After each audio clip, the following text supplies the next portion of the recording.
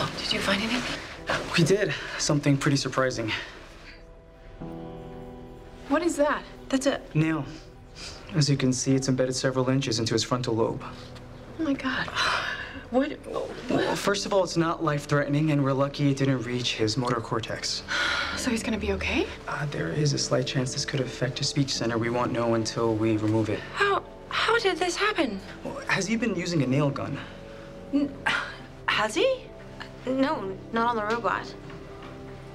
Um, he told me that he was working on your garage and that the gun recoiled and hit him in the head. Wait, what is he doing working on the garage? I think he was um, covering for his birth father. Wh- Why wouldn't he say something?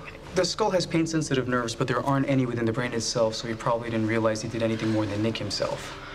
Is he awake? Is he aware of what's happening? we have him sedated and we're prepping him for surgery. Dr. Wong, our top neurosurgeon, is on her way, so your son will be in the best hands possible. Can we see him? Uh, yes, but uh, just uh, mom's for now.